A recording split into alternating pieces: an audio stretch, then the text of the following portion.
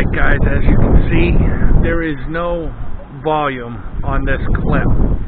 Uh, when I went to do editing, I realized that there's no volume. So what I'm going to do is for this clip, I'm going to uh, do a voiceover to let you know what's going on. So I apologize for the error. I seem to be having camera issues lately. Alright guys.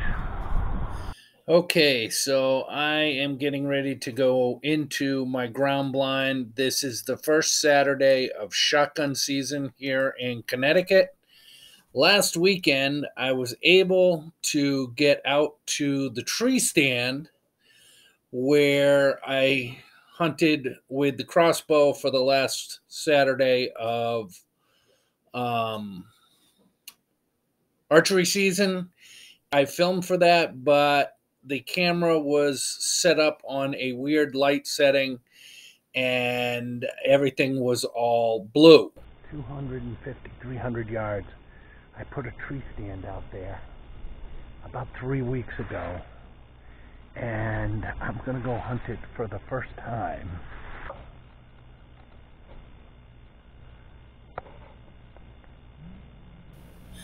So I seem to be having a lot of problems with my camera probably operator error.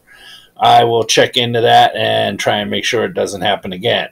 But I am going to get set up here and get up to my ground blind for an afternoon set for the first Saturday of shotgun season here in Connecticut.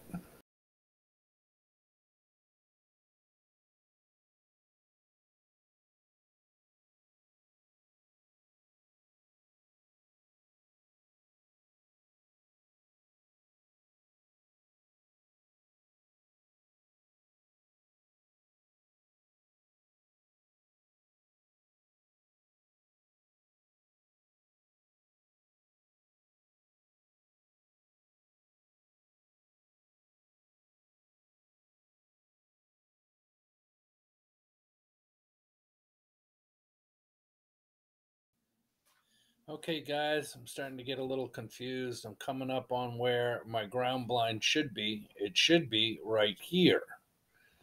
And I'm not really sure what's going on.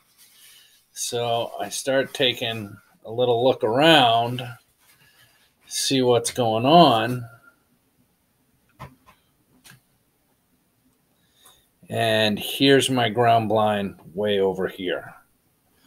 I'm not exactly sure what happened there, but I'm not happy.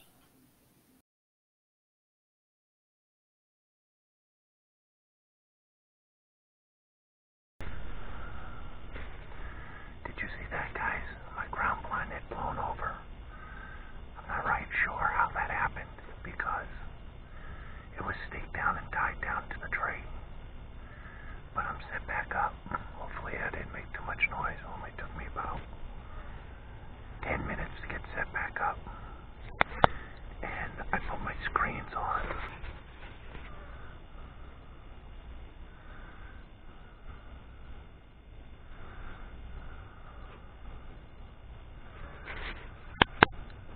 That'll help conceal my movement in here. And I sprayed it down with